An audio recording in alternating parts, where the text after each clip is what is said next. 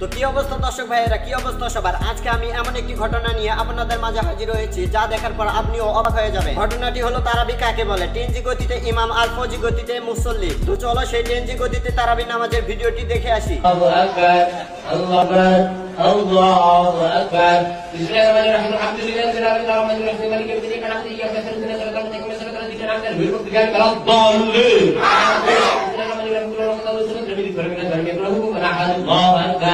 سمع الله لمن حمده الله أكبر الله أكبر الله أكبر الله أكبر السلام عليكم ورحمة الله السلام عليكم ورحمة الله তারাবির নামাজ পড়ায় ফোর জি গতিতে আল্লাহ আকবার আর আমরা যে কি রূপ ধরছে যে যে মসজিদরাতে তাড়াতাড়ি তারাবিও আমরা খুঁজা বাইর করি মসজিদরা কোন জায়গাতে আছে কথা কনা কি লেগে কথা কনা কি লেগে আসেনি রে ফোলাবান তোমরা এটা খবর ভালো করে জানবা তোমরা এটা লাগে গুরু এটা আমি জানি।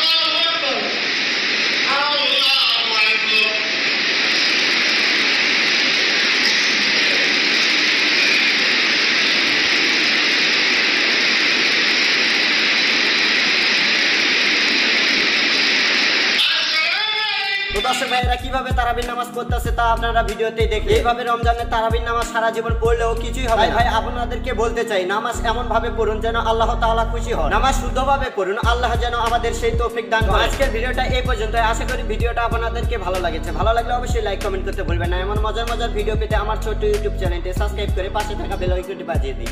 তো ধন্যবাদ ভিডিওটা দেখার জন্য। আবার দেখা হবে পরবর্তী ভিডিওতে।